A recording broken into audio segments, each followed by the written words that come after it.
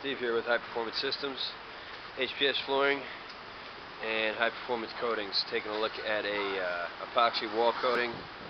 What I'm going to be showing you first is the finished product. General Polymers Marine Coating is uh, ideal for steam cleaning, cementitious, uh, pretty much any any sub uh, sub material. What we did here was we did a uh, carborundum stone diamond grind on the glazing of the of the uh, block to allow for our coating to be accepted and a, uh, create a profile. From here we did a, a prime coat and two two top coats of our epoxy finish. Afterwards we installed our seamless floor as usual, 4 inch cove basing to allow water to, to uh, stay away from the corners, take any 90 degrees out. Pitch the floor to the drain on top of tile. Eliminate any bird bathing by doing a uh, flood test. And this is the finished product.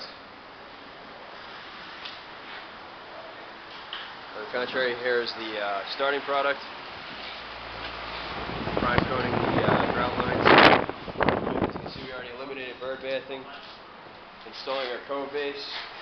From here, we'll be putting in our uh, epoxy top coats, cementitious urethane, General Polymers 4080 bath system with a uh, chemical resistant thermal shock uh, proof floor coating.